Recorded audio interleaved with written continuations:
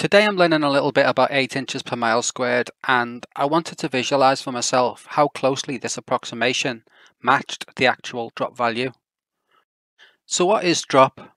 If I place a tangent plane here at P and then I select the location at some surface distance away, drop is the shortest distance from that tangent to that location. And that's this distance here. One thing to notice about this drop line is that it isn't straight up from this location's perspective.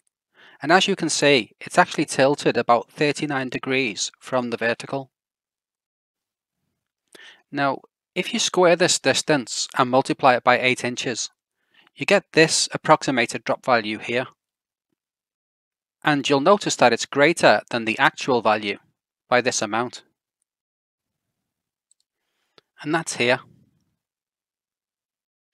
This slider allows me to move my location from point P at zero miles all the way down to three and a half thousand miles.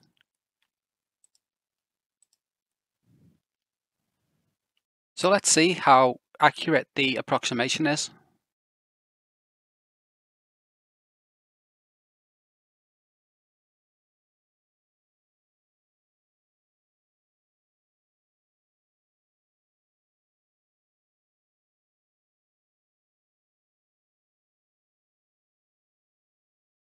Well, I think that looks very reasonable. Even at this distance, we've only got a relative error of about 1%.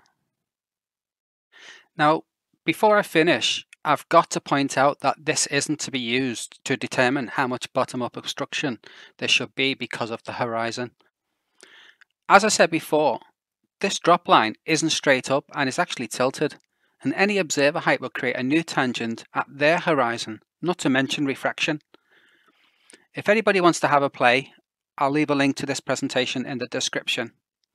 Let me know what your thoughts are on this in the comment section. Thanks very much for watching and I'll catch you later.